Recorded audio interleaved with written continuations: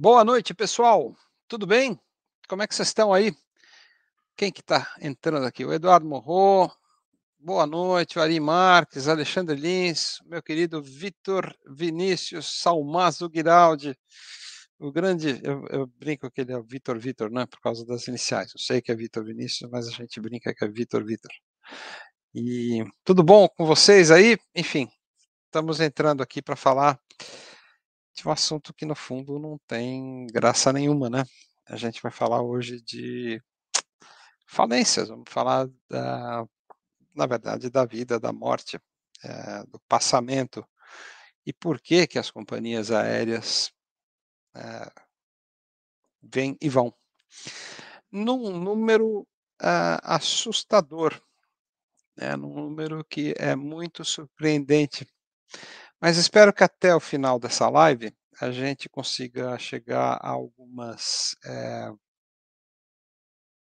algumas conclusões básicas assim. De novo, né? Uh, é minha opinião, basicamente. Eu fiz uma colinha, me preparei aqui para não falar tanta besteira. É, eu fiz uma, uma análise, né? E essa live, na verdade, ela deveria ter acontecido em dezembro do ano passado ela não aconteceu muito em função da morte do Carlos Espagar. E foi uma coisa que me abalou muito. Enfim, a gente era amigo, nós somos amigos ainda que em diferentes planos.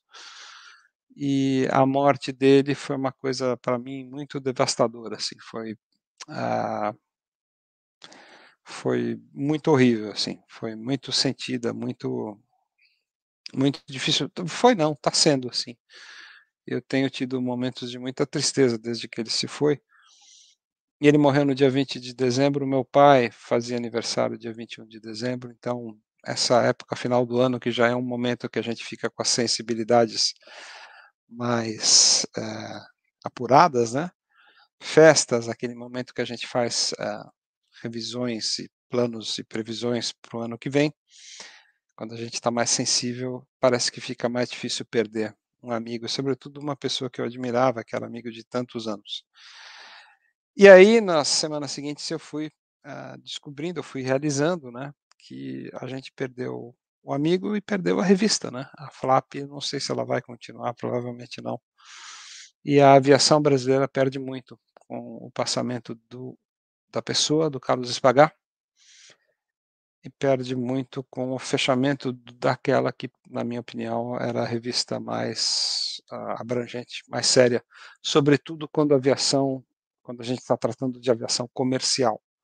Existem excelentes publicações no Brasil, eu não vou citar todas com medo de esquecer alguma, mas a gente tem grandes revistas que permanecem aí no mercado. Ah, espero que elas tenham vida longa, porque a aviação precisa de veículos para divulgar o que ela faz, o que ela pretende fazer e o que a, e quais são os planos que vêm por aí. E de uma certa maneira existe um, a gente traça um paralelo, né? Porque o papo que a gente vai ter hoje aqui nessa live é basicamente para falar uh, sobre companhias aéreas que não estão mais aí, companhias aéreas que desapareceram e tentar entender um, um pouquinho do porquê que as companhias aéreas vêm e vão, né? E agora que a gente já está com 121 pessoas a bordo desse voo, a gente pode finalmente entrar no tema, respeitando aí um, uns 3, 4 minutinhos, que é o tempo que o pessoal precisa para fazer as ligações. E antes de entrar mesmo, eu queria saudar os amigos que estão aqui, estou vendo um número crescente de pessoas queridas, a André, o Rodrigo Mazur, Vitor Fialho, enfim, o Eduardo que eu já citei, né? E, enfim, eu sei que essa não vai ser uma live fácil, porque toda vez que uma empresa fecha, né, seja ela empresa aérea, banco, posto de gasolina, restaurante, enfim, cada vez que uma empresa fecha as asas, existem uh, existem sensibilidades né, atingidas. Existem as pessoas que perdem o emprego, aquelas que perdem a aposentadoria, aquelas que perdem ou vêm uh, destruídos ou, ou, cancelados ou adiados seus planos de vida. É muito sério isso, né? E, o simples, e a simples menção de que eu faria essa live já gerou uma série de comentários lá no meu Instagram com visões e opiniões já bastante apaixonadas, assim, né? Inclusive hoje eu até tive uma, uma dei uma resposta dura para um cara que eu achei que escreveu uma coisa inapropriada no, no meu Instagram. Porque na verdade esse tema é mesmo sensível, né? Eu, eu que já tenho 40 anos de aviação, vi o desaparecimento de muitas companhias aéreas. Então, antes de entrar, ou já entrando, vamos entrar no tema. É o seguinte: primeira consideração que eu faria é a seguinte: empresas, na verdade, são como organismos. São organismos vivos. Todo organismo vem para esse planeta com uma programação de vida, uma estimativa de vida média. Tartarugas podem viver 200 anos, moscas vivem três dias. Né? Seres humanos saudáveis, hoje em dia, têm uma expectativa média de vida acima de 70 anos em países de primeiro mundo, por volta de 65 em países de terceiro mundo. Esse número está subindo com os avanços da medicina. Tal. Mas empresa nenhuma vai sobreviver para sempre. Empresa nenhuma vai se perpetuar infinitamente. Impérios nasceram, cresceram, prosperaram, dominaram e desapareceram. O Império Romano, os assírios, civilizações mais do que impérios, elas vêm e vão. Então, a única certeza que a gente tem sobre uma empresa é que ela vai nascer, vai crescer, ela vai ter momentos de prosperidade, vai ficar um tempo no topo, no topo da cadeia, ou vai ter um espaço para ela, e depois, naturalmente, elas vão desaparecer seja através de falência, seja através de incorporações, seja através de fusões, muitas vezes elas se fusionam e desaparecem porque se fundiram. Vou dar um exemplo, né? a Lanchile não existe mais, a TAM não existe mais, no lugar das duas existe a Latam. Você fala, ah, mas a Latam é uma Lanchile disfarçada. Pode ser, mas não seria o que é se não fosse a incorporação, por exemplo, da, da nossa TAM que não existe mais como a gente a conheceu, como foi fundada pelo comandante Rolinha do Alfamaro, mas ela está aí de uma certa maneira, voando com outras cores, com outro nome, com o nome Latam. Mas a TAM, fundada pelo Rolim, não está mais aí. Como não está a Brasil Central, que o Leonardo Senna está comentando aqui, que era a antiga Votec, que foi incorporada pela, pela TAM, mudou de nome para Brasil Central e depois foi amalgamada, fundiu, deixou de existir numa medida ah, mais ou menos normal, né? Não, não tem muito sentido você ter muitas marcas debaixo do seu guarda-chuva. E eu andei fazendo uma pesquisa para falar um pouquinho do número de companhias aéreas que faliram, que fecharam nos últimos anos. Para você ter uma ideia, apenas nos Estados Unidos, tá? que é um país que, de uma certa maneira, responde por quase metade do transporte aéreo mundial. Metade do transporte aéreo mundial ou é originário nos Estados Unidos, ou tem por destino os Estados Unidos, ou é composto por empresas que aqui estão sediadas e transportando ah, bens, pessoas e realizando voos dentro do mercado norte-americano, que gera aí, estou falando números pré-pandêmicos, tá? Antes da pandemia, gerava aí 800, 900 milhões de viagens por ano.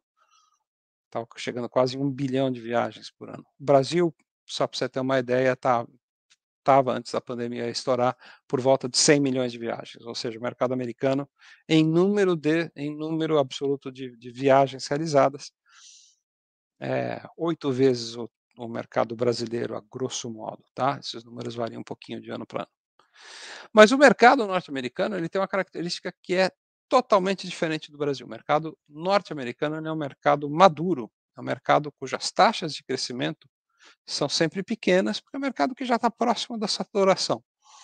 As empresas não vão crescer, prosperar, explodir. Fenômenos como o surgimento ah, ou o crescimento incrível da TAM nos últimos 30 anos, mais recentemente da Gol, que completou essa semana, aliás, parabéns para a Gol, que fez 21 anos, né?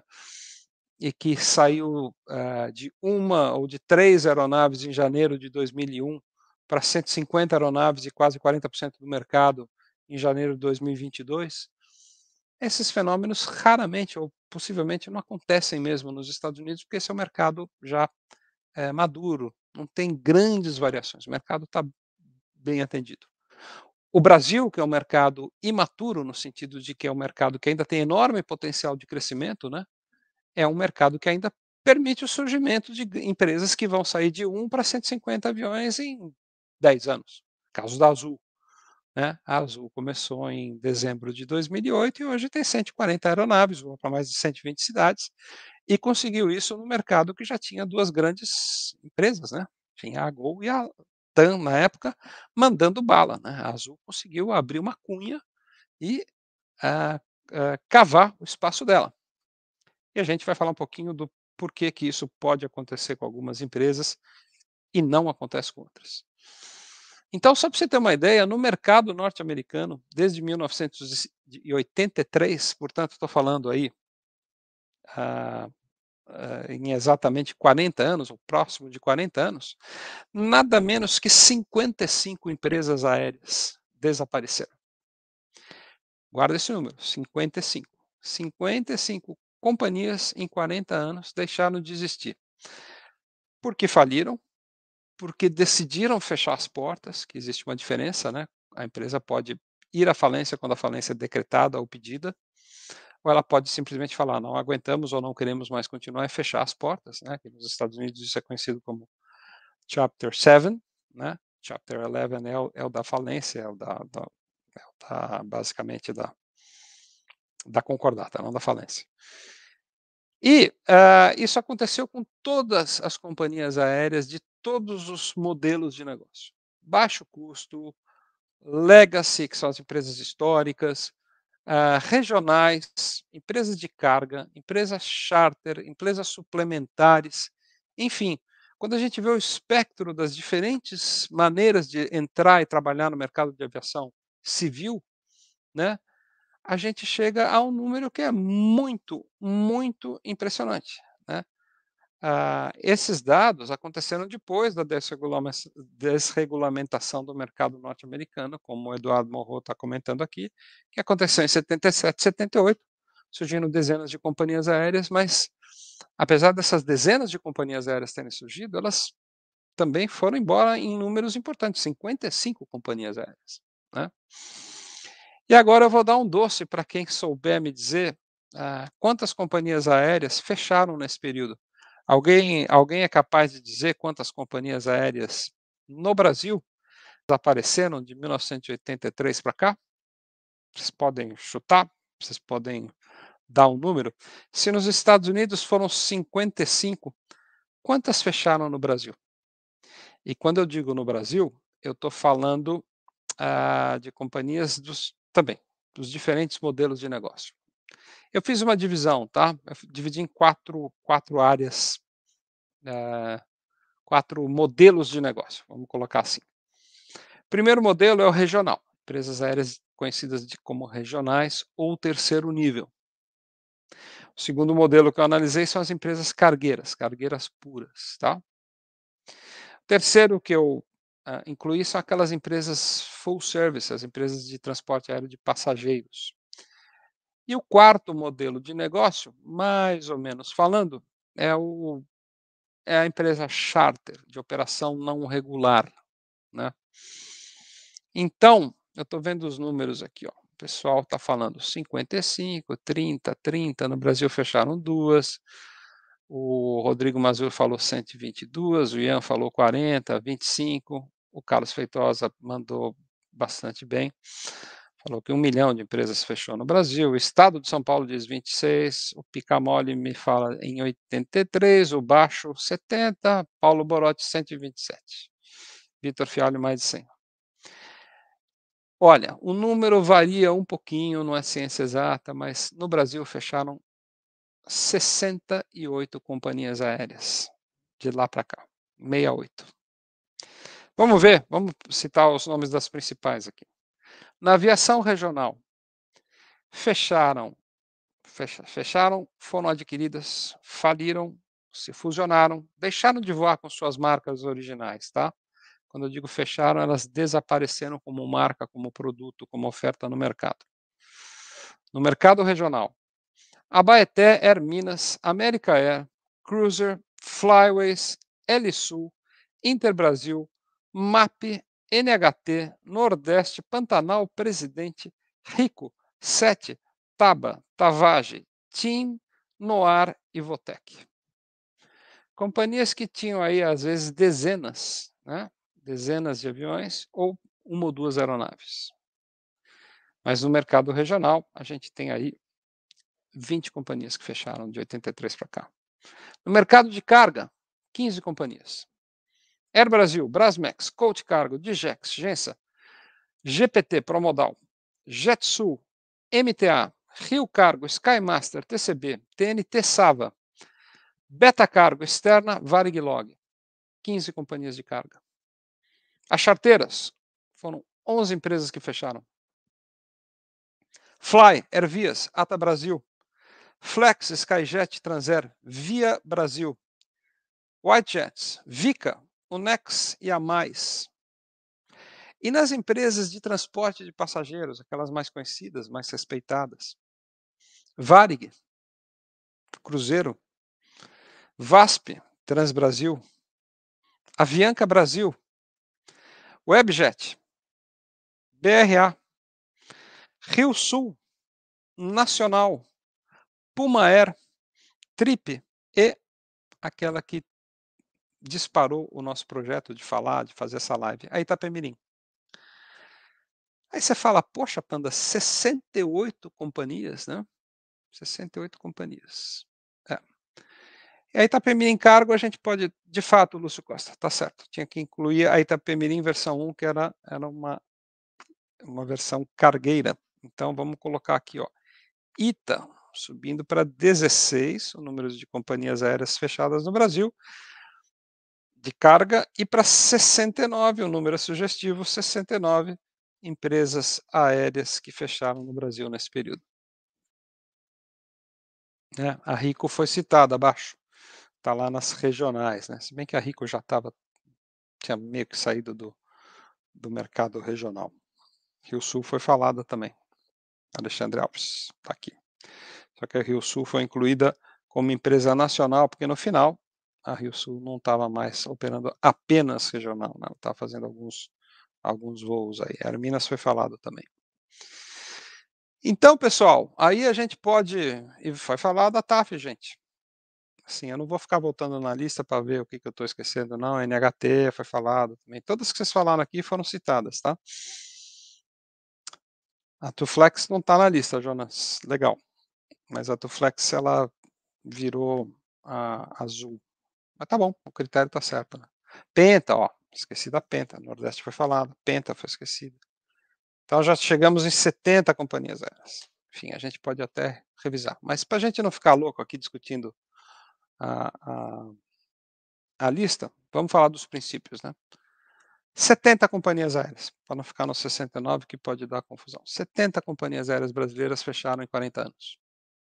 Aí você fala, ah, por que, que isso aconteceu? É um fenômeno no Brasil? Não, não é um fenômeno no Brasil. Fechou um número importante de companhias aéreas na Argentina, fecharam companhias aéreas na América do Sul inteira, na Europa, na Ásia, ah, nos Estados Unidos, né? A gente falou que nos Estados Unidos foram 55 empresas que desapareceram nesse período. As empresas aéreas fecham porque esse é um mercado incrivelmente competitivo, incrivelmente difícil uh, para se prosperar, incrivelmente difícil para que a gente tenha sucesso, para que a gente consiga uh, fazer com que as coisas uh, aconteçam como, como o previsto, tá? E eu aqui até preparei algumas coisas que são algumas informações que são ah, muito relevantes assim, né, para a gente discutir por que, que uma empresa aérea não vai para frente. Né? Tiago Cunha, a Passaredo está voando, né? Ela só mudou de nome, ela é Voa. E eu citei a Nacional, sim. Então, a, agradeço a observação aí, Tiago Cunha, mas a Passaredo não entra na lista porque ela está voando, né? A até virou táxi aéreo, enfim. E, enfim. Então vamos, vamos parar com essa questão de o que, que eu esqueci, o que está faltando, porque tira um pouquinho da concentração. O número é importante, 70, 70 companhias aéreas, né? Eu citei a Nacional, enfim. Mas mais do que ficar lembrando qual é a companhia que eu esqueci, ou qual é a companhia que eu que tinha que ter falado, né? A Flyways foi citada. É, vamos voltar no, no realmente no, no, na, no, que é principal aqui nessa nossa conversa. Por que, que as empresas fecham? Né? Na verdade, eu acho que uh, a primeira coisa que a gente tem que analisar é que é muito, mas muito, mas muito difícil prosperar com aviação no Brasil. Tá? Isso é uma coisa que precisa ser dita com todas as letras. Quando as pessoas viram e falam assim, ah, existe muita incompetência por parte dos empresários e dos donos de companhia aérea, eu discordo frontal e diretamente. Eu acho que é justamente o contrário. Eu acho que existe muita competência, porque vocês não fazem ideia de como é difícil abrir e manter e prosperar com uma companhia aérea no Brasil. Vamos ver alguns dos setores. Primeiro, uma economia que oscila barbaramente. Hoje, a gente tem uma economia que está num estado lastimável, mas sem muitas oscilações. Mas nem sempre foi assim. Nos anos 80, você tomava um susto a cada dois, três meses de um pacote econômico, uma maxi desvalorização, uma mudança de regra, você tinha ah, indexações diversas, você tinha uma série de fatores macroeconômicos que impactavam brutalmente as companhias aéreas. Então, planejamento de longo prazo era uma ficção científica para os donos de companhia aérea e para as pessoas que trabalhavam no planejamento. Era impossível fazer planejamento de longo prazo. Era impossível, porque apare... caiu um ministro, aparecia um pacote econômico, tinha uma desvalorização, enfim, era um inferno. Isso mudou nas, nos últimos anos, tá? A economia passou a dar menos sustos.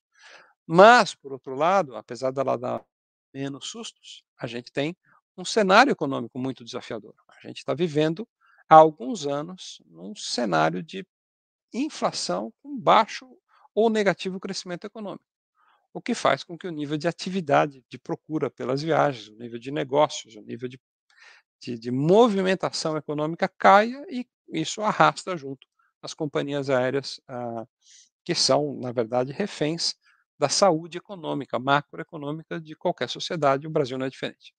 Então, esse é um fator importante.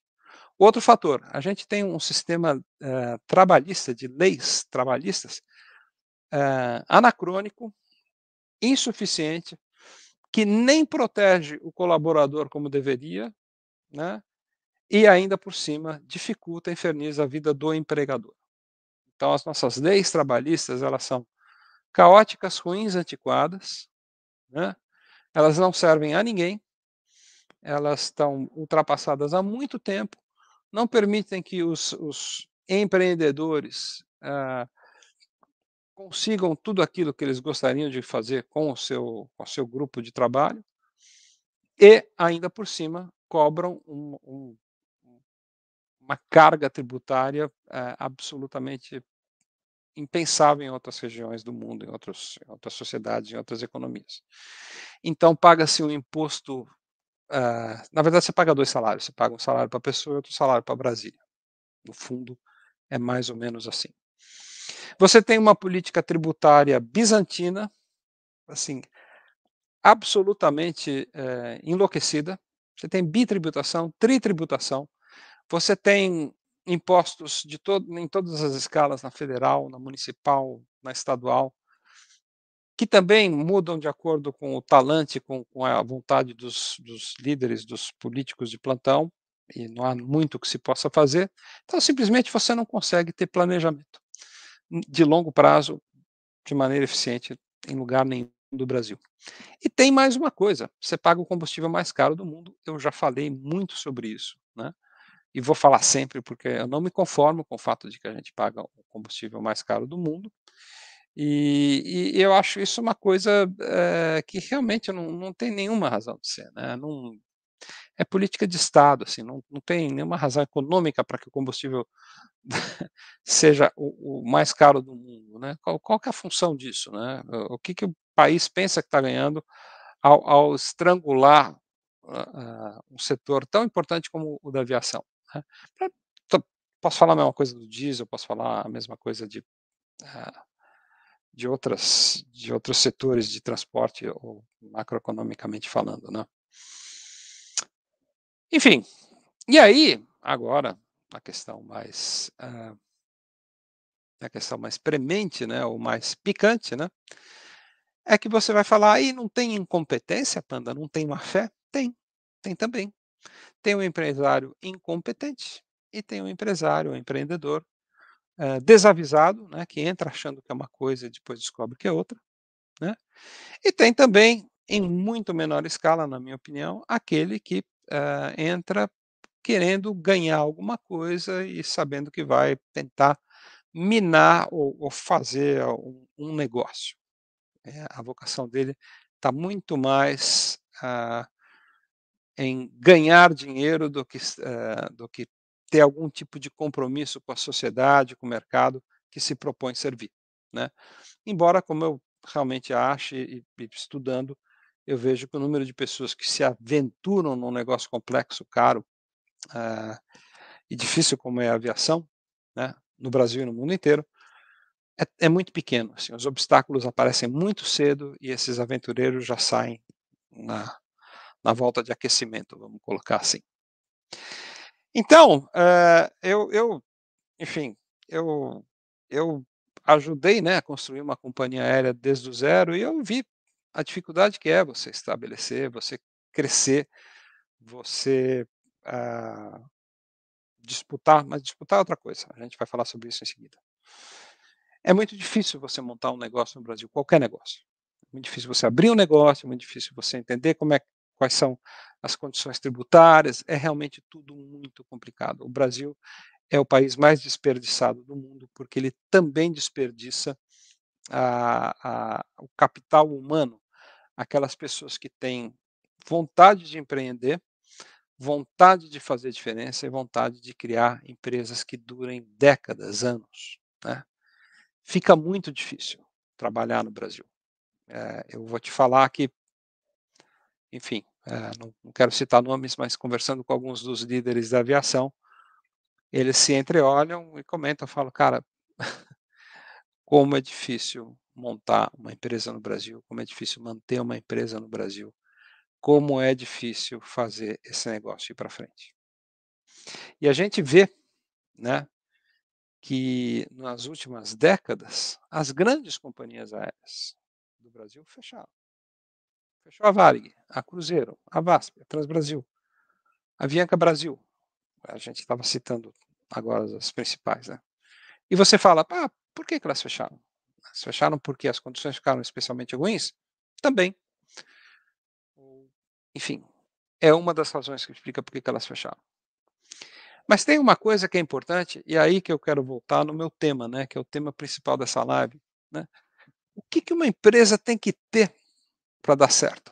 Uma, uma empresa aérea, uma startup, tem que ter para que ela consiga sobreviver. Por que, que a Itapemirim fechou? Né? O que, que aconteceu? Vamos, vamos analisar a Itapemirim. Né? A Itapemirim fechou porque ela era muito diferente, por exemplo, de uma Gol, de uma Azul, de uma Avianca Brasil? Sim, ela era muito diferente. Por que, que empresas ah, regionais fecham em maior número do que as empresas nacionais? Né? Também é algo que a gente pode conversar, a gente pode analisar. Então, o que eu fiz, assim, para você, para a gente ter uma discussão, é algo que eu acho que é meio didático, assim, acho que é uma coisa que talvez interesse para você saber qual é a minha visão ou a minha receitinha uh, de sucesso para uma companhia aérea dar certo, né? Como é que o que, que uma precisa, o que, que uma empresa tem que ter ou trazer ou aportar para o mercado para que ela consiga prosperar? Eu divido esse meu checklist que é composto por 10, 10 linhas, 10 áreas de atuação, em quatro áreas diferentes, tá? Eu acho que são quatro predicados, quatro áreas que uma companhia aérea, e se a gente quiser até ser um pouquinho mais Não, mas foi criado para a companhia aérea. Eu ia falar que isso vale para qualquer empresa, mas não, não vale para qualquer tipo de empresa, vale especificamente para o transporte aéreo, tá? Mas esses quatro predicados são predicados que ah, se dividem em quatro áreas diferentes que poderiam ganhar uma adjetivação. A primeira área, chamo de área A, é a área que garante sustentabilidade à empresa que está nascendo. Ou seja, quais são as coisas que uma empresa tem que ter para que ela seja sustentável, para que ela possa sobreviver, para que ela possa se lançar, competir contra a concorrência que nunca fica parada, né? não fica parada, você pode ter certeza. Quando uma empresa aérea nasce no mercado, as outras empresas que já estão nesse mercado não falam: "Oh, que bom que vocês chegaram, bem-vinda, queridinha. Fica aqui nessa parte do hangar, pode ficar com esse check-in para você". Não, não. É briga de cachorro grande, é faca no dente, é, é uma briga feia, suja e que a, a, por detrás de uma fachada institucional que business as usual, está tudo acontecendo. Uh -uh tem dedo no olho, tapa no ouvido, rasteira, casca de banana no chão, é feia a briga, é grande a briga, e no mundo inteiro é assim. Ah, no Brasil, não, não é, no mundo inteiro é assim. Nos Estados Unidos é assim, na Alemanha é assim, no Japão é assim, no Brasil é assim. Então, primeira característica dessas 10, da lista de 10 coisas, a empresa tem que ter sustentabilidade. Ela precisa aportar algumas características que permitem a ela que ela se sustente no mercado. O segundo grupo de, de, uh, de itens cai numa categoria que eu chamo de credibilidade. A empresa que está nascendo, ela vai conseguir aportar para o negócio, para o mercado, para os players, para os organismos que financiam, para as autoridades que aprovam serviços, para os funcionários que gostariam de aplicar e procurar emprego, ela passa uma imagem de seriedade, portanto, de credibilidade. Credibilidade vem de credere, de crer, de acreditar. Né? Essa é uma empresa cuja uh, consistência de atuação, de implementação, de entrada no mercado traz a ela credibilidade. Essa é a segunda área, chama de área Bravo. Terceira área, área Charlie. Oportunidade. A empresa que se lança, que tenta entrar no mercado, ela está entrando na hora certa? Ela percebeu quais são as oportunidades que o mercado oferece? Quais são os nichos não ocupados? Quais são as possibilidades de negócio? Quais são aqueles sinais que o mercado sempre emite? Né? Ele fala: precisamos de uma empresa que faça isso. Precisamos de um operador que una tal cidade com tal cidade. Precisamos de uma transportadora que consiga escoar a produção de tal região. Isso são oportunidades. Né? E, finalmente, né, o quarto item, o item delta, não menos importante, mas é o que fecha a, essa, esse decálogo, é um item não, realmente não menos importante, visibilidade.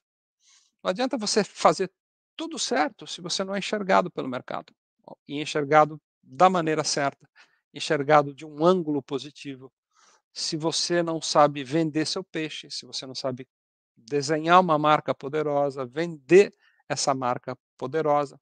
Então, essas quatro áreas, sustentabilidade, credibilidade, oportunidade e visibilidade, são os adjetivos que se colam nas dez leis, no meu decálogo, para você ah, começar e lançar uma empresa de sucesso. Você fala, ah, é, decálogo, Panda. Quais são essas 10 leis, né? O que está nessa pedra para você? Para você uh, ter um checklist, uma startup, uma empresa que se lança no mercado, né? Ter sucesso. Vamos lá, chegou a hora da gente falar sobre cada uma dessas. Na primeira área de sustentabilidade, a gente começa com o que é absolutamente mais importante. Nenhuma empresa aérea consegue decolar se ela não nascer com montanhas, Everestes, Alpes, Andes, Apeninos de dinheiro. Você precisa de montanhas de dinheiro. por montanhas de dinheiro, hoje em dia, entenda-se, centenas de milhões de dólares. Ah, não, vou começar uma regional lá na, nas quebradas. Tudo bem, pode começar. Pode começar com o Cessna Caravan com 30 anos de uso. É uma maneira de começar. Muitas empresas começam de forma modesta. Mas para você realmente lançar um projeto vencedor, matador, você precisa de centenas de milhões de dólares. Nesse caso, é bom lembrar que a Azul foi a empresa mais capitalizada no momento de startup na história. Ela nasceu com 225 milhões de dólares no, no banco, reservadinho para financiar o crescimento, o nascimento, para encarar a competição, etc, etc. Então, primeiro item de 10, montanhas de capital. Estou falando em muito dinheiro, estou falando em centenas de milhões de dólares, tá? Muita grana mesmo. Que você precisa para contratar pessoas, para comprar aviões, para ter dinheiro, capital de giro no banco. Você precisa de grana, grana, grana, grana, grana. E não para por aí. Não basta você ter esse capital, o startup capital, o dinheiro para você começar a companhia aérea. Né? Você precisa, eh, entre outras coisas, entender que uma empresa vencedora nasce com uma mentalidade de controle de custos absolutamente radical. Tem que ser radical.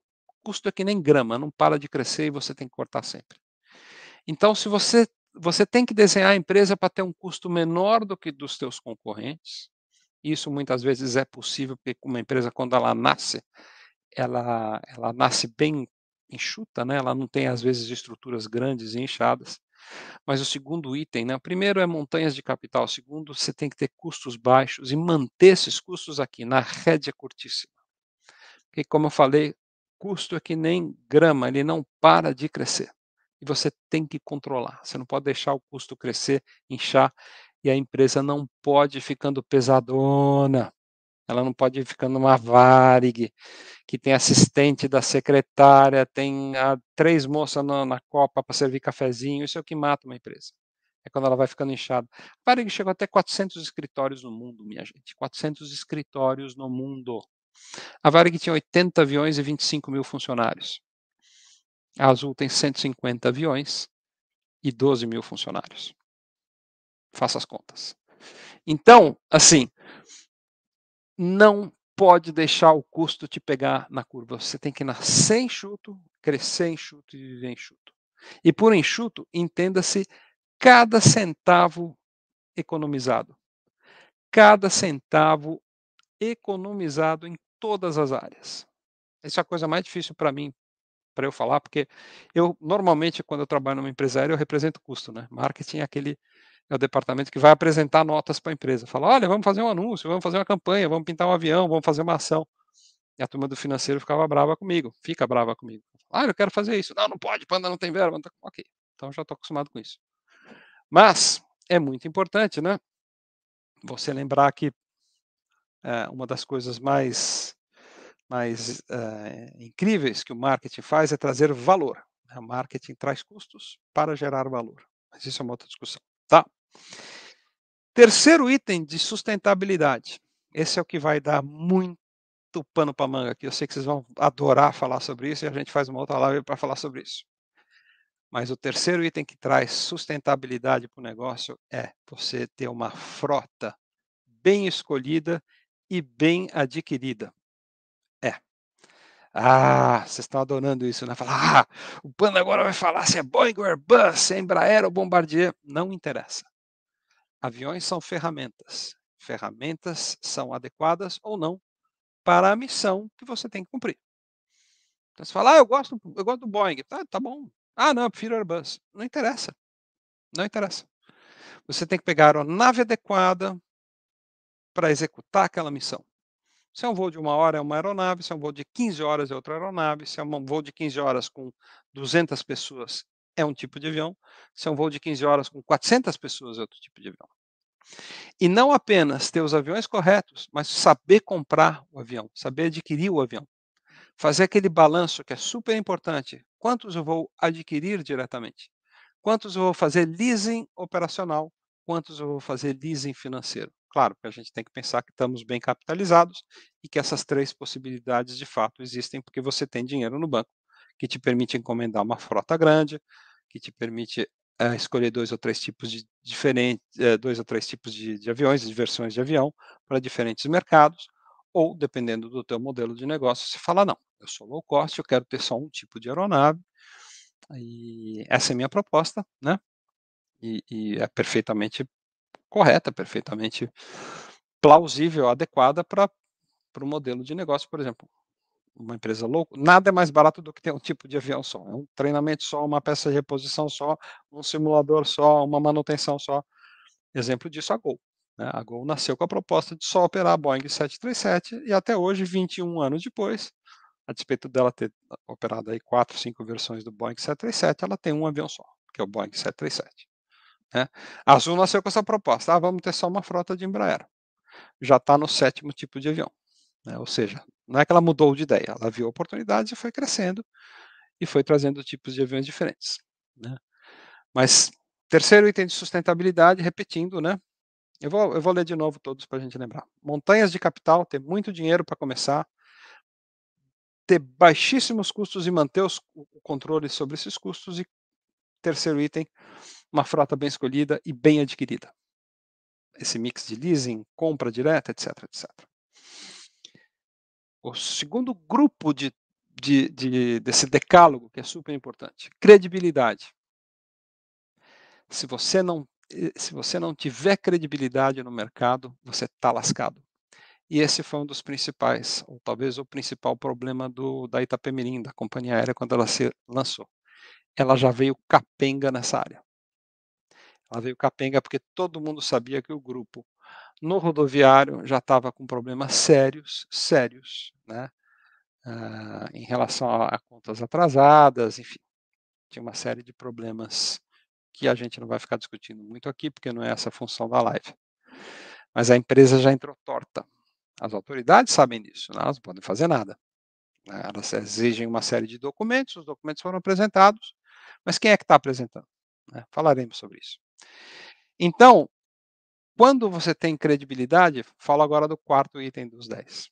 Você tem que ter essa credibilidade, credibilidade para poder ter linhas de crédito abertas. Porque não basta você ter aquela montanha de dinheiro que você tinha quando a empresa começou. Você tem que ter acesso a dinheiro novo, a mais dinheiro. Porque aquela, aquela grana inicial você vai gastar. Pode ter certeza. Só que você vai ter que ir pedindo dinheiro emprestado. Então você precisa ter linhas de crédito. E como é que você pede dinheiro num banco? Você faz a barba, põe uma roupa bacana e vai lá pedir. Você tem um discurso, uma maneira de falar. Então você tem que passar uma imagem de seriedade e credibilidade. Né? E essa credibilidade é absolutamente fundamental para você conseguir linhas de crédito abertas, porque sem essas linhas de crédito você pode ter certeza que a, a empresa, o negócio não vai para frente. Pode ter certeza. Você tem que ter linhas de crédito bem largas, bem abertas. Você tem que bater na porta do banco e a porta abrir rapidinho. Isso não é brincadeira. Esse é o nome do jogo. Ainda na credibilidade, você tem que ter um plano de negócios sólido. Por quê? Porque é através do plano de negócios sólido que o mercado olha para você e fala: pô, legal, é, faz sentido isso que vocês estão querendo fazer. Sim, faz sentido essa frota que vocês estão querendo comprar. Sim, faz sentido esse tipo de operação que vocês vão ter. Sim, faz sentido a quantidade de pessoas que vocês estão contratando para operar esses aviões, para manter esses aviões. Então, você tem que ter um plano de negócios, você tem que ter uma visão de longo prazo de como você quer estruturar a sua empresa, que tipo de serviços ela vai prestar, uh, qual que vai ser o posicionamento que ela vai ter no mercado, enfim, você precisa ter um plano de voo, como, como uma viagem de avião. Você decola de São Paulo para Porto Alegre, e nesse nessa viagem de São Paulo para Porto Alegre, você tem tudo planejado. Para que aeroporto eu vou, se ele tiver fechado, eu vou para um alternado, quanto combustível eu tenho no tanque, qual é a rota, qual é a velocidade, qual é a altitude, se tem água no banheiro, enfim. Montar uma companhia é como decolar para um voo. Você tem que ter um plano, uma sequência de ideias. Você tem que desenhar onde a empresa vai estar em 5 anos, 10 anos, 15 anos. O que, que ela vai fazer se a concorrência reagir assim? O que, que ela vai fazer se a concorrência reagir assado? Então, esse plano de negócios tem que estar absolutamente bem desenhado, com todas as, as armadilhas é, prevista, se possível, né? E é, é bastante fácil entender que o teu concorrente ele vai colocar casca de banana no teu caminho. Então, é, por exemplo, eu lembro muito bem, né? Na primeira reunião que eu fiz lá no nascimento da Azul e também na Breeze nos Estados Unidos, né? A gente, antes da companhia nascer, a gente já estava desenhando qual que ia ser a nossa estratégia, o espaço que a gente ia ocupar, né? Como que a gente ia entrar no mercado. E de novo, quando a gente olha para Itapemirim, quando eu vi a Itapemirim entrando, eu falei, ah, o que, que é trazer meia dúzia de A320 e voar de Guarulhos para Salvador? de Guarulhos para Fortaleza, de Guarulhos para Porto Alegre, do Galeão para Brasília. Não é nada, gente. Não é nada. Não tem inovação nenhuma. Não tem diferencial nenhum.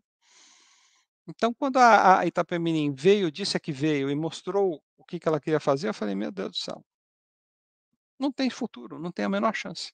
Por quê? Porque não tinha um plano de negócio sólido, não tinha uma ideia diferenciada. Né? Não tinha alguma coisa que você falasse, nossa, não tinha pensado nisso. Ah, isso não tem ninguém fazendo. Poxa, isso é diferente é, do que está sendo feito hoje. Vamos lembrar o que, que a Azul fez? Não, não quero falar de mais Azul. Mas enfim, mas a Azul fez isso. As concorrentes falaram, ah, os caras vão começar por, por, por, é, por Campinas, por Viracopos, não, não tem nem um ano de vida, não vão aguentar. Não precisa falar mais nada. Né?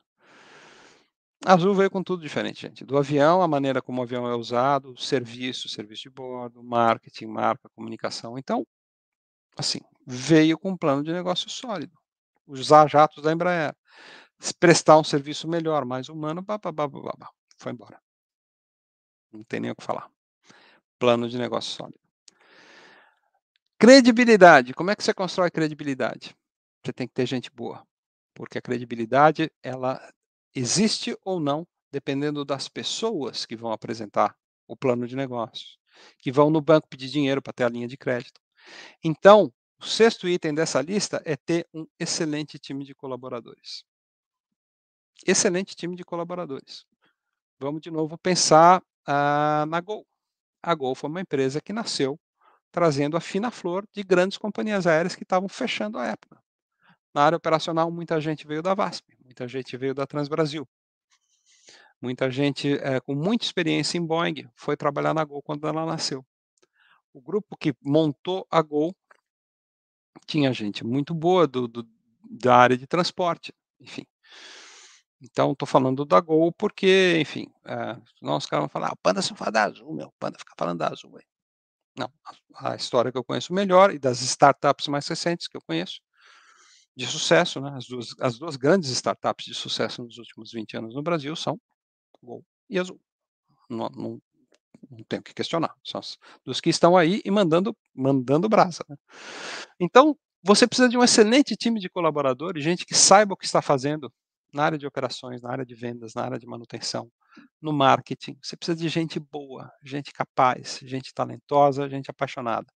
E essas pessoas, sabendo o que estão fazendo, trabalhando dentro de um plano de negócio sólido, sabendo que tem dinheiro no banco, sabendo que tem uma linha de crédito para pegar dinheiro caso seja necessário, essas pessoas vão passar credibilidade. Eu lembro que a gente foi falar com um banco no comecinho da Azul, e o banqueiro chegou para mim e falou: "Ah, Panda, eu acho que tem uma coisa muito bacana de vocês. Vocês são uma empresa pequena que pensa grande, enquanto que tem algumas concorrentes de vocês que são grandes e pensam pequeno. Ele falou isso lá em 2008. E eu nunca esqueci essa frase de um banqueiro. Né? Então, a, a gente tem que pensar aí que é, esse item é um item absolutamente importante. Você precisa ter gente muito boa para conseguir ter sucesso. Porque se você não tiver gente boa, cara, você não, não vai longe. É simples, você não vai longe. Né? Você tem que ter um, como, é que, como é que um grande time pode ser campeão? Com grandes jogadores, né? Sem grandes jogadores, sem grandes players, você não, você não, você não vai simplesmente ter sucesso. Tem que ter bons profissionais em todas as áreas.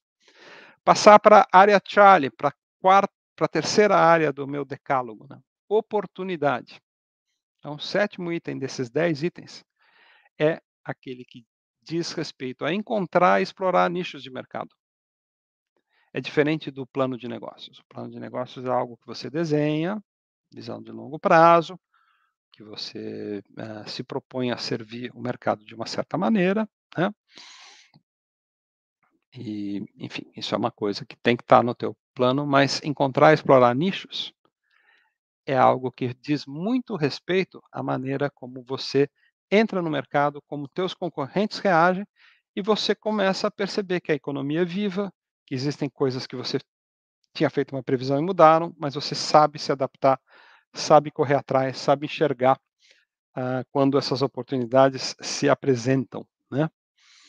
Então, eu nunca vou esquecer. De novo, né? Vocês desculpem estar falando na Azul, mas, enfim, é, você é, tem que lembrar que a Azul, quando anunciou que ia ter um segundo tipo de avião, os concorrentes falaram, e agora os caras vão trazer Buzz, vão trazer Boeing. Não, a Azul cresceu para um avião menor, trouxe o ATR. Construiu capilaridade. o que a Azul fez foi aumentar o número de cidades servidas, e é o que ela faz até hoje, inclusive com a subregional, com a Azul Conecta. Né? Então ela vai lá, pega seis passageiros em Canela, no Rio Grande do Sul, que vão para Porto Alegre, de Porto Alegre para Campinas, de Campinas para Lisboa. Isso é capilaridade. Né? É algo que ela faz hoje melhor do que qualquer outra companhia aérea no Brasil. A Azul, que tinha nascido para ter um tipo só de avião, entendeu essa possibilidade, cresceu, diversificou a frota e explorou nichos de mercado não atendidos. Então, esse é um sétimo item muito importante. Oitavo item muito importante, coisa que a, a coisa que a passarela não, coisa que a ITA também não tinha nenhuma noção. Apresentar diferenciais sólidos. O que, que a ITA fazia de diferente? Fundamentalmente diferente. Nada. Absolutamente nada. Né?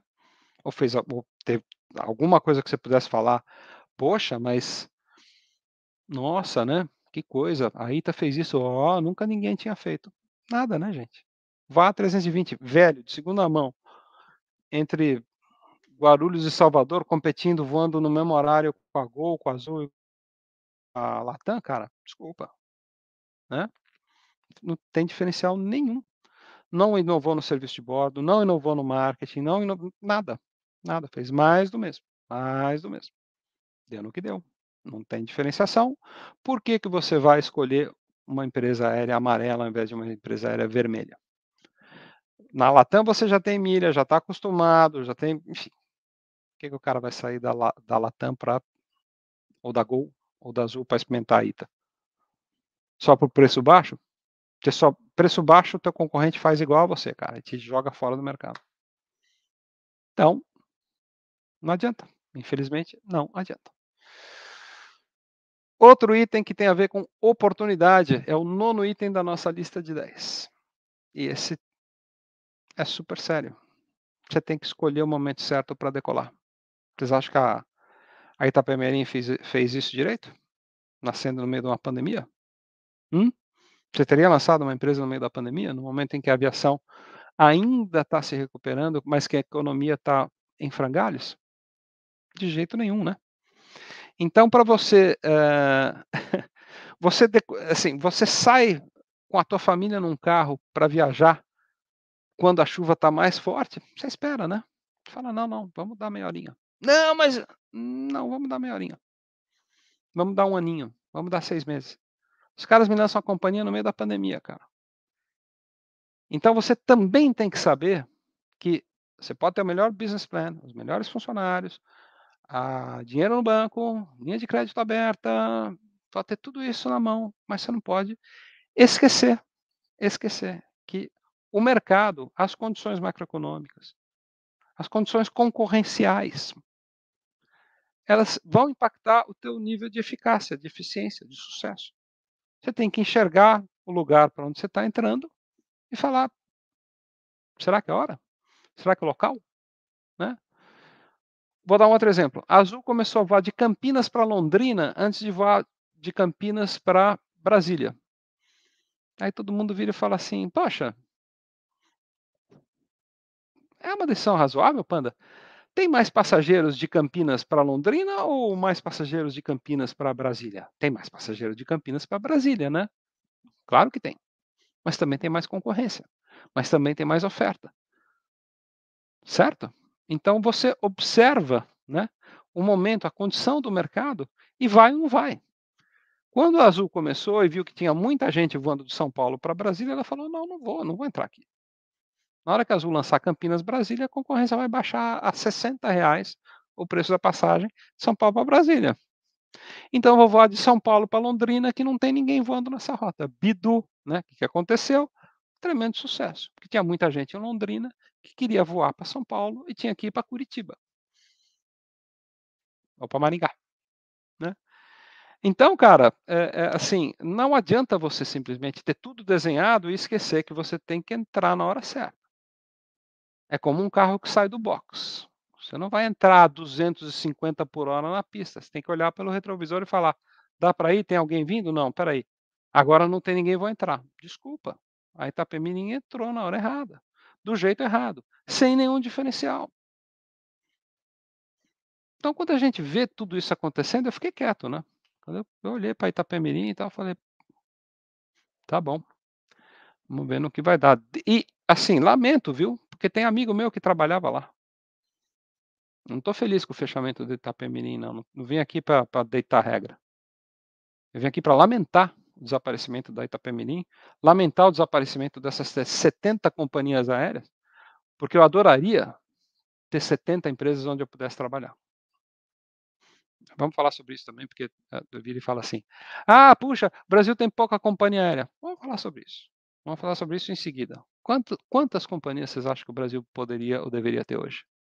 Quantas? Não, não poderia deveria ter. Queria que o Brasil tivesse 600 companhias aéreas e transportasse 2 bilhões, realizasse 2 bilhões de viagens por ano. Não, não tem. Né?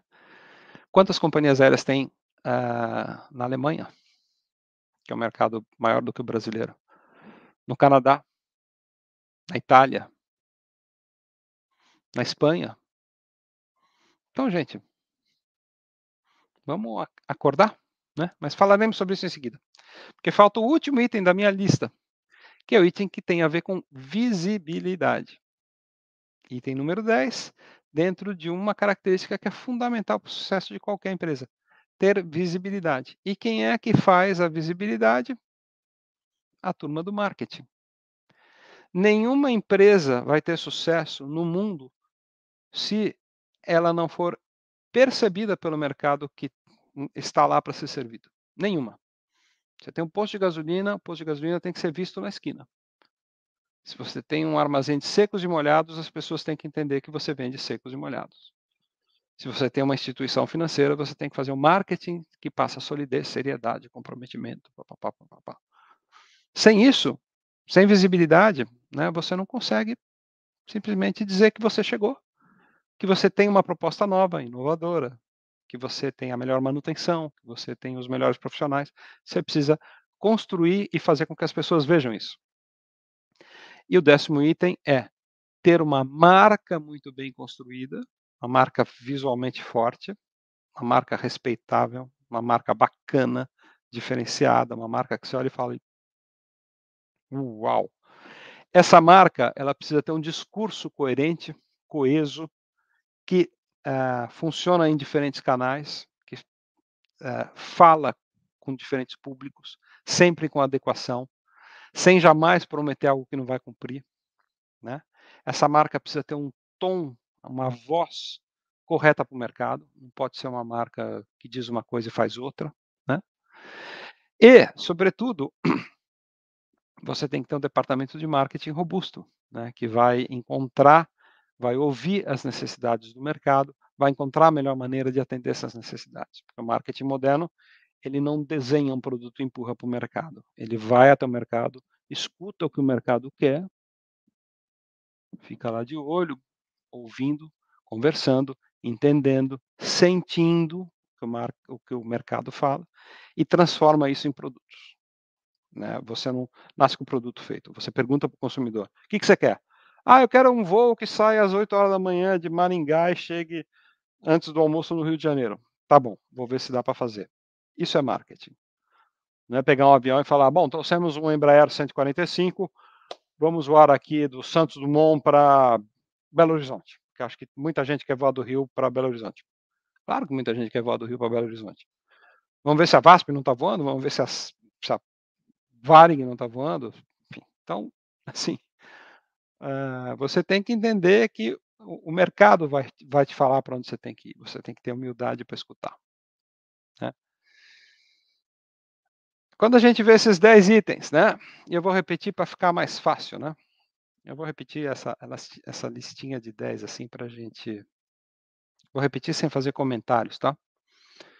10 itens que uma empresa aérea, uma startup de sucesso tem que ter montanhas de capital, baixos custos de controle de custos, frota bem escolhida e bem adquirida, linhas de crédito abertas, plano de negócio sólido, excelente time de colaboradores, encontrar e explorar nichos de mercado, apresentar diferenciais sólidos, escolher o momento certo para decolar, marca bem construída e marketing bem feito. Esses 10 itens, cara, desses 10 itens, quantos realmente a, a Itapemirim pode dizer que tinha? Poucos, né? Poucos, poucos, poucos. Então, a gente, quando vê tudo isso, né, quando a gente vê essas coisas se desenvolver, essas, o que aconteceu infelizmente com a Itapemirim, a gente fica muito chateado mesmo, mas não fica surpreso. Essa é a diferença de você ter cabelinhos brancos, né? Ainda que poucos, mas o cabelinho, o cabelinho branco ele te ajuda a, a visão, assim, de falar, pô, né? Será que esses caras estão vindo com tudo aquilo para ter sucesso? Então, a gente, de novo, de novo, né? Eu lamento muito, eu tenho pessoas queridas que estavam trabalhando na ITA. Eu vejo muita gente criticada também, clientes usuários que compraram passagens de boa fé e estão aí com, com uma passagem na mão, dinheiro perdido, planos estragados, enfim. E, enfim, a gente, a gente lamenta mesmo, porque quem ama aviação gostaria que o Brasil tivesse 100 empresas aéreas. Aí você fala, ah, bom, então você falou que ia falar sobre o número de empresas aéreas correto uh, no mercado, vamos falar sobre isso. O Brasil tem mais ou menos o número de empresas que ele aguenta ter, por incrível que pareça. O Japão tem duas empresas aéreas, gente. Assim, duas empresas aéreas que representam 90% do mercado. Ah, mas no Japão, bom, primeiro o mercado japonês é muito maior que o mercado brasileiro, né? Gera muito mais viagem, mas muito mais, né? Muito mais. E não tem tantas companhias aéreas assim. Você tem a JAL, tem a ANA, você tem aí aquelas de nicho, assim, né? Fuji Dreams, você tem a, a Zip, que nasceu agora, mas que é uma subsidiária da, da Japan Airlines. Você tem a, a, a Star Flyer, que voa a 320. Você tinha a Vanilla Air, que fechou. Né? Então você vê o seguinte, que no Japão, que é um mercado muito maior que o Brasil, os caras têm para valer duas empresas e, e, meia, vai. Tem a Jetstar Japan lá, que é low cost também. E tem a Spring, que tem meia dúzia de aviões. Então, assim, não adianta. Né? Você vai ter sempre a pitch, né? obrigado Miguel Libório, mas são empresas que tem seis aviões, ou sete aviões, oito aviões, tem a Erdo, Air Hokkaido, que tem mais nove aviões. Então, o Japão tem duas empresas aéreas. A Itália tinha uma, agora não tem nenhuma. Portugal, uma. Não, a TAP, graças a Deus, está aí, mas não está fácil para a TAP. Ibéria, Espanha, mercado forte. Uma companhia aérea. Né? Ah, era a Europa. A Europa foi comprada pelo grupo IAG. Né? Então, é, os Estados Unidos, os Estados Unidos está cheio de companhia aérea. Não, não está. Os Estados Unidos têm mais companhias aéreas, mas 80% das companhias aéreas, 80% do tráfego nos Estados Unidos está na mão de seis empresas aéreas. Seis. Né? Lembrando que o mercado americano é um mercado oito vezes maior que o mercado brasileiro. Então, uh, não adianta, cara. É, é, não adianta. O Brasil tem um número de companhias aéreas que historicamente vai acabar sustentando mesmo. Três, talvez quatro. E aí esses players, né, nichados, assim, né? Players. Surge lá uma MAP, depois vai lá e é comprada. Passaredo, que já virou uma subsidiária da Gol. Enfim, né? Então, assim, esse negócio de ah, Brasil precisa de 10 companhias aéreas. Cara, não sustenta não é um, não é um mercado que vai sustentar 10 companhias aéreas. Não vai. Então, pode tirar o cavalo da chuva, porque se tiver espaço para uma grande empresa aérea no Brasil, talvez tenha para mais uma. Talvez tenha para mais uma. E é isso aí. O Brasil vai ter duas, três empresas aéreas relevantes. Hoje tem três, né? Você fala, ah, mas como você está tá esquecendo da passarela? Não, não estou esquecendo da passarela, não estou esquecendo de ninguém. Né? Não estou esquecendo de, das operações regionais, menores, pontuais tal. Né? A Espanha tem Aero Europa. A Aero Europa, o Marcos Daltoso, eu acabei de falar, a Aero Europa foi comprada pelo grupo IAG da Ibéria, cara. Já não. É uma marca. A Aero Europa é uma marca, já não é mais concorrente. Né? Enfim, então. É,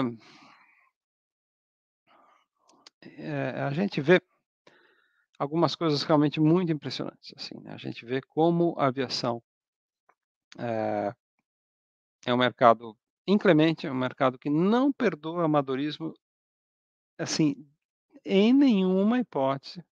Se você é amador, parece ser amador, tem cheiro de amador, age como amador, fala como amador, não dá nem para contar em dias né, a, a, a, tua sobrevivência, a gente conta em horas. Né? Os bancos fecham a porta para você, você não encontra mais crédito, ou vai encontrar aquele crédito caríssimo, né? Quando você pega dinheiro a, um, a, uma, a taxas elevadíssimas que você tem certeza que você não vai conseguir honrar e pagar, mas às vezes você levanta para continuar operando, né? Capital de giro. Enfim. E tem mais um item que eu não coloquei no decálogo, porque ele é um item curioso, mas que ele é acho que ele tem uh, cada vez mais, na medida que eu envelheço, eu cada vez mais me convenço que ele talvez devesse entrar em qualquer lista. Não sei se vocês sabem, mas uh, na Marinha Inglesa, uh, quando chega a hora de promover alguém para o posto de almirante ou comandante, um dos critérios que é usado para promoção é muito interessante. Chamam os, os subordinados dos postulantes à promoção e perguntam uma coisa para esses subordinados. Eles dizem o seguinte: teu chefe tem sorte. Ele é um cara de sorte. Você acha que é uma pessoa de sorte ou uma pessoa sem sorte? E, e quanto mais eu vivo, quanto mais eu, eu vejo a vida se desenrolar na minha frente, eu acho que tem um componente que Harvard Yale, MIT, não explicam, mas eu acho que ele está aí sim, que é sorte. Tem empresas que têm sorte, tem empresas que não têm sorte, tem indivíduos que têm sorte, indivíduos que não têm sorte. Ah, sorte é a soma do, do, do, das competências aliadas a trabalho duro. Ah, tá bom, ok. Pode ser. Mas eu não acho que. Eu acho que existe sorte, sim, e, e existe falta de sorte. E eu lembro uh, de um executivo, na verdade, do presidente da Pan American, o último presidente, um dos últimos presidentes que ela teve, acho que foi o último, Tom Plaskett, uh, quando caiu aquele avião em Lockerbie, né, 21 de dezembro de 1988, aquele 747 que teve uma uma bomba plantada no seu interior, ele caiu sobre aquela aquele é, vilarejo né, na, na Escócia. Claro, né, aquilo foi em 88, a Panam voou até 1991. Mas eu lembro que o, o, o, Tom Plaskett, foi o último presidente da Panam, foi o último sim, ele, ele chegou e fez um comentário, ele falou, é, não, não dava mais para gente. Se a gente entrasse no mercado funerário, as pessoas iam parar de morrer. E esse é um comentário sardônico, sarcástico do Tom Plaskett, mas ele ele passa com muita eloquência, né? Algo que é algo que é muito importante também. Assim, você tem que as coisas têm que sorrir para você. As coisas têm que o mundo tem que estar um pouquinho aberto para você. Não adianta só você ter competência, talento, trabalhar duro. Tem horas que não tem horas que não vem a mão é ruim mesmo, assim, você está lá jogando o teu carteado, vem um, você puxa as cartas, vem uma dupla de seis, e é isso aí que você tem. Então, tem que ter um pouquinho de sorte, tem que ter muito trabalho duro, tem que ter esses 10 itens que eu, que eu elenquei aí. Porque, cara, de outra maneira, meu, já vi muita gente muito bem preparadinha, muita empresa com sólido business plan, gente boa, mas não era a hora, não era, não era a pegada, não era o, drive mesmo. É, os comandos portugueses dizem a sorte protege os audazes, fato. Então você tem que ter um pouquinho de audácia, mas não imprudência. Audácia e imprudência são coisas, coisas muito diferentes, né? Aí uma saudação para o nosso querido Eliezer Zucker, que deve estar falando com a gente desde Tel Aviv. Latov, Eliezer, como diz aqui a, a Sharon. Vamos lá? Estou falando há uma hora. Vamos abrir um espacinho aqui para perguntas e respostas, porque eu falei muito, então queria é, saber o que, que vocês têm para perguntar aí. De preferência desse assunto, né, de vida e morte de companhias aéreas. Mas, mas o que, que vocês querem perguntar aí sobre esse tema?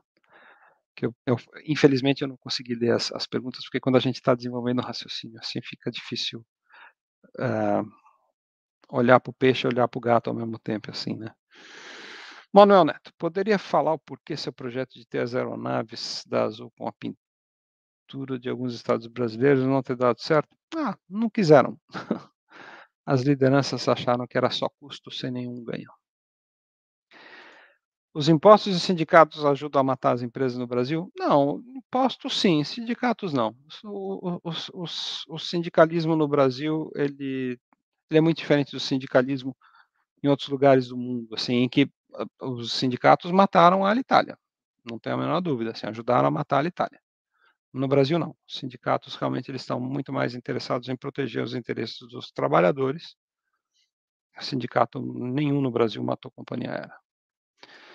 Uma Ryanair no Brasil? Pergunta o Edson Enzo. Não, cara, com a carga tributária que o Brasil cobra das companhias aéreas, não tem tarifa de baixo custo. A gente, as companhias aéreas pagam 40% de imposto. Na Europa pagam 12% de imposto. Não dá para ter passagem por 30 reais de, de forma sustentável. Né? Ian Calil. Panda, no LinkedIn, alguns diretores da ITA dizem para ainda acreditar e continuar trabalhando. Afinal, você acha que volta? Já viu alguma história parecida com outras companhias? Olha, companhia aérea, quando, quando, quando fecha, cara, né? Você conhece alguém que compraria uma passagem da, da Itapemirim hoje? Não, não tem a menor chance. Infelizmente, ela, ela se queimou. Vitor Costa, o que você pensa sobre o futuro da, do Brasil na aviação? O Brasil vai ter presença na aviação dependendo do seu sucesso econômico e social, né? Então, isso leva um tempo. Porque ficou tão difícil a Transbrasil sobreviver frente a Varig e VASP. A economia brasileira, na época, ajudou muito nisso. Felipe, a Transbrasil não fechou em função da competição com Varig e VASP, tá? É uma longa história, a gente já falou aqui, mas não, não foram VASP e Varig que mataram a Transbrasil. Wagner Bejarano Carvalho. E as chatas que estiveram por aqui, Fly, Skyjet, Airvisa e Via Brasil? muito mal administradas, muito mal capitalizadas. Se a gente pegar os 10 itens da minha lista, você vai ter um ou dois itens dos 10 que são necessários. Boa noite. Na documentação apresentada pela EITA, não era nítido que não ia decolar? Não. A, documentação brasileira, enfim, as regras brasileiras são sempre mal escritas, mal interpretadas, mal. Somos uns incompetentes.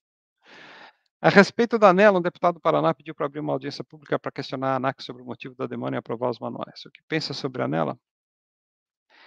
Espero estar errado, né? mas a ANELA, vamos, vamos cruzar o projeto da ANELA contra os meus 10 itens e ver, e ver quantos se encaixam. Né? Diogo Rodrigo, Panda, você disse que a Itália não tem mais nenhuma empresa nacional. E a ITA? Não, disse que a Itália não está mais lá. A ITA Vamos ver se a ITA vai decolar. A ITA é uma empresa estatal, mas sei lá. Quando a integração com o rodoviário não era um diferencial, seria num estágio muito avançado que infelizmente ela não, não chegou a, a, conhecer, no caso da Itapemirim. Sabe sobre o 727 da Falitada, abandonado em, Goiânia? Ah, cara, a empresa também tinha um, não tinha vários desses itens da lista, né? Na Europa, acho mais justo analisar como um mercado só por conta da unidade eh, da União Europeia. São três grandes grupos, mais as low cost. No fundo, o mercado é mais consolidado do que parece. Sim, é muito consolidado. Qual a companhia aérea que eu mais senti? Pan America. Fácil. A falência da Panam foi um desastre afetivo para mim. Eu, eu, cheguei em Miami no dia seguinte ao fechamento, tinha uns 80 aviões parados no pátio de Miami, estacionei o carro, parei em frente à grade e comecei a chorar. Chorar mesmo, chorar. Foi um horror. Aí, isso das internacionais, né? Aí traz Brasil, Varig, VASP, todas, todas foram muito dolorosas. João Vitor, seria um bom marketing reabrir uma companhia com o nome de uma companhia que fez sucesso, tipo abrir uma empresa com o nome TWA? Não, tem a menor relevância. Você só vai trazer, viu, João? Assim, a gente que ama a história da aviação fala, pô, já pensou uma nova Panam, já pensou uma nova TWA, já pensou uma nova Trans Brasil? Primeiro que é difícil, segundo que tem um monte de ruídos, as pessoas vão lembrar de coisas. Não, morreu, morreu, deixa morto. Assim, a, a tentativa de ressuscitar marcas e nomes nunca dá certo. Deixa, deixa quieto, passou. Não vale nada. Ah, vamos. Nova Varig. Não é a mesma coisa, é outra empresa aérea. Enfim. Não dá. Né? William Yarokrinsky. Panda, quando o governo ajuda ou atrapalha? Quando um governo ajuda ou atrapalha? Pois vemos diversas estatais pelo mundo. Ah, cara, puta, essa pergunta é super complexa, né? Super complexa. Ah, o governo atrapalha quando ele estabelece regras claras, mantém as regras claras abertas e valendo para todo mundo. Ele não pode in, ele não pode mudar regras no meio do jogo e não pode favorecer nenhum dos players, tá? E isso é muito sério. Então, na maior parte do mundo, o governo ou é neutro ou ajuda. São poucos os países. Os países vagabundos é onde o, governo atrapalha. O Brasil é um, é um, é um país vagabundo. Vitor Fialho, abrir surgiu em meio à pandemia? Sim, surgiu. O plano de negócio fez a diferença? Claro que fez. Né? Ah, na verdade, a pandemia já estava moendo, quando a empresa já estava muito adiantada, não dava mais para parar. Eles retardaram o que conseguiram, mas decolaram no meio da pandemia e estão tendo muito sucesso. A Breeze está indo muito bem porque diferenciais, nicho, marca, marketing, tem um, gente boa, gente ótima, um monte dos itens estão recentes, é, estão presentes lá. Diogo Belon, o que acha da recente decisão judicial que condenou o Estado a indenizar os prejuízos causados à família Miranda pela perseguição que levou à falência da panela? Acho corretíssimo. Uma falência fraudulenta, o, o Estado brasileiro que pague. Panda, quantos graus você usa nos óculos? Eu uso um e meio, mas já usei 9 graus. Tinha quase 10 graus de miopia. Toupeira. Panda, qual é a média de lucro num voo cheio? não, é assim, Rodrigo. É, e essa é, uma, essa é uma ciência, cara. Não tem isso, não. Não tem média, não. Tem muito complicado, cara. Não é assim, não. Você fala, ah, um voo cheio, tá...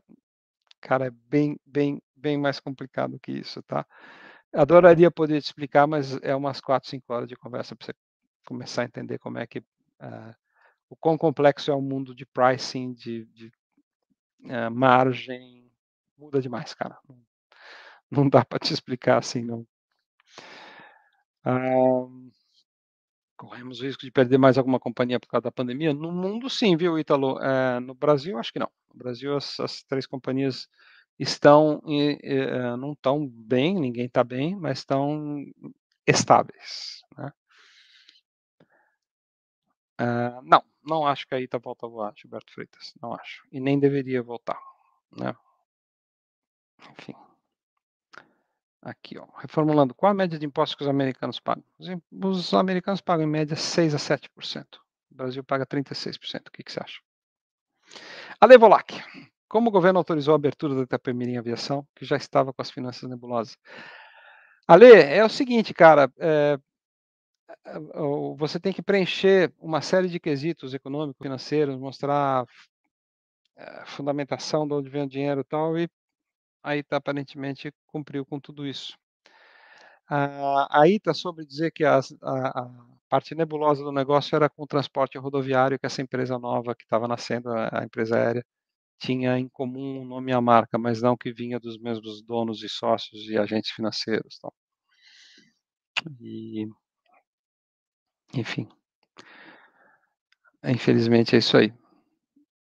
Qual o meu esporte favorito e seu maior ídolo? Meu esporte favorito é o futebol, meu maior ídolo é Ademir da Guia. Essa eu já respondi, Wagner. Você não ouviu? Algum dia alguma companhia aérea vai operar no azul plenamente? Vai. Muitas companhias aéreas sabem ganhar dinheiro. Tirando a, a, o desastre da pandemia, a Southwest Airlines, a mãe, a inventora de todas as low costs, né?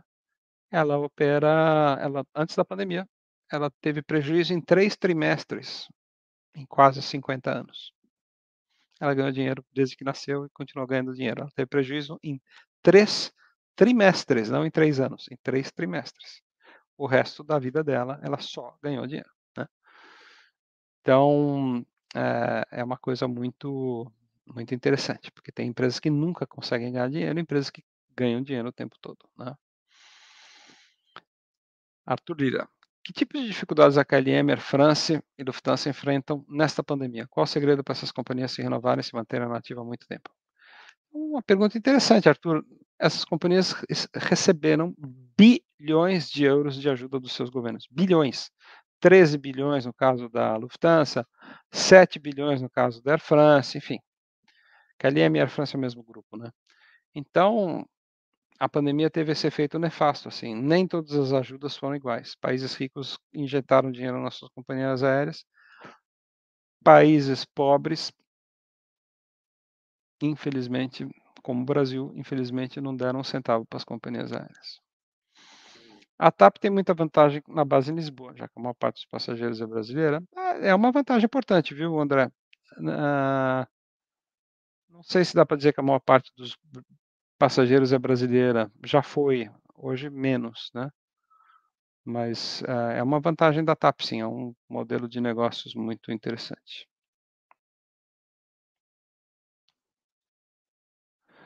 Acha que é uma companhia estatal daria certo no Brasil? Você conhece alguma estatal que dá certo no Brasil, Gabriel? Diga uma. Diga uma e eu tatuo aqui. O que, que eu posso tatuar na testa? Sou corno. Sai com tatu aqui. Sou corno. Se você me mostrar uma, uma única estatal no Brasil que dá certo. Uma única estatal no Brasil, eu vou tatuar aqui. Sou corno, tá bom? Estatal, cara. Estatal não dá certo em lugar nenhum do mundo. Empresa aérea tem empresa, empresas têm que ter dono. Quando está tudo que o Estado põe a mão estraga. Pode ter certeza disso. Tudo, absolutamente tudo no mundo inteiro. A, a, a espécie humana não foi feita para para ser governada por, pelo Estado. Quanto menor o Estado, melhor. Estado bom é Estado microscópico. Estado grande. É... Vocês estão rindo, né? Que eu vou tatuar tu é corno, sou corno. Isso não vai acontecer tão cedo, né? Quer dizer, enfim.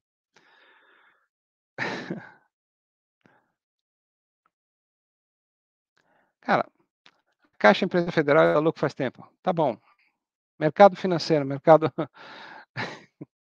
Cara, por favor. Né? Tá bom, agora começa as defensores. Ah, Embrapa, né? Tá bom, tá bom, tá bom. Então tá. Nível Estado. Estado gigante. Vamos fazer um Estado gigante, com todo mundo trabalhando para o Estado, tudo no Estado. Gasolina, petróleo, banco. Vamos, vamos para o Estado. Vamos estatizar tudo. Vamos para a União Soviética, vamos para Cuba, vamos para lugares em que o Estado dá super certo. Vamos, vamos para lá. É lá mesmo. Né? Vamos, vamos lá. Coreia do Norte, um sucesso um sucesso. Vamos para a Coreia do Norte. Vocês não sabem como é legal você sair às 10 da noite para tomar um café em Pyongyang, na Coreia do Norte. É um su sucesso. Bom, enfim. Ah, eu já sei que vai ter meme. Os caras vão pegar meu retrato amanhã e vai. Maldita hora que eu fui falar isso. O Marco Aurélio, Marco Aurélio, a China, a China é, é, tem um estado forte, né? Mas a economia, o estado, o regime político é é socialista, econômico ele é capitalista pra caralho, pra caralho. A China é um do a China é o maior país capitalista do mundo hoje. E só isso ela ela só deu certo na hora que a economia passou a ser capitalista. Enquanto a a economia foi socialista, a China era era um uma latrina. Enfim, dá pra falar, né. Enfim. Ai, ai, ai. O meu próximo voo ô Vitor Secati, agora você me você me fez feliz, meu próximo voo vai ser Miami, Doha, Doha, Abu Dhabi. É, dia 31, tô saindo daqui de Miami pra ver meu Palmeiras brigar pelo bicampeonato lá na lá em Abu Dhabi. É. Vai ser legal colocar o bi, uma segunda estrelinha no uniforme, né.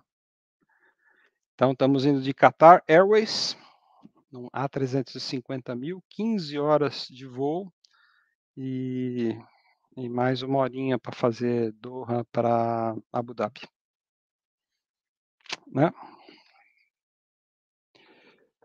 Vamos lá. O fato da Varig ter tido 400 escritórios teria por conta do contexto da época, que exigia pontos físicos de venda? Até até um ponto sim, viu, Alexandre, mas era um até um ponto sim, eu concordo, tá. Naquela época você não tinha canais de venda como tem hoje, mas não não se justifica, cara. Não justifica ter não justifica ter 400 escritórios. A a Varig pensava grande demais, inchou demais, enfim, não tinha controle nenhum sobre custo, assim, era era muito complicado, né. Enfim. Te adoro panda, seu corno. Corno não, eu falei que eu falei que tem condições pra fazer essa tatuagem, você me mostrar uma uma uma estatal que funcione. Ó os cara querendo saber como é que eu vou voar. Yankee ou business de Miami pra Doha? Yankee, tigrão. Você pensa o quê? Vou levar a família, você acha que dá pra pagar 4 executivas? $750 ida e volta, classe econômica. Tudo bem, 15 horas, vamos lá. Né. André Salgado, querida André Salgado, live incrível como sempre, uma aula magna, poxa, obrigado. Infelizmente tenho que sair, grande abraço, panda e Shannon. Muito obrigado André Salgado. Vamos lavar a mão. E estamos fechando aqui com 1 hora e 30, porque é uma coisa que eu quero fazer esse ano, não quero passar de 1 hora e 30 não na nas lives, tá. Essas lives de 2 horas acho que ninguém aguenta mais, né. Então, vamos fechar aqui com 1 hora e meia, acho que a gente falou bastante. E eu quero dizer que a gente vai vai voltar, né, semana que vem com mais uma live, espero poder confirmar um convidado que eu que eu queria muito que viesse pra cá. Ace tentando acertar com ele, tá. E enfim, é muito legal estar de volta, a vida segue aqui. Eh ainda é muito difícil pra mim superar a perda do Spagali, ele era um amigo querido. Eh, como também foi difícil, foi horrível ficar sabendo aí do Eric Tag, né, do Eric on Board. A a a jornada, a história dele, ah, foi uma surpresa horrorosa. Vocês devem ter visto, se não viram, tem a live dele aqui no canal. Mas a imprensa já me procurou pedindo pra eu me manifestar sobre a história dele, eu não vou falar nada, não quero comentar, não vou comentar. É uma coisa muito triste que aconteceu, ah, inexplicável. E, enfim.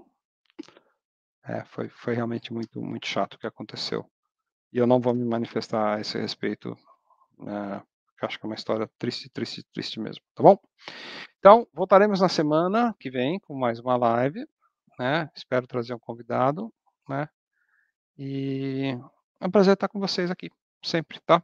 Vamos estar juntos aqui em 2022.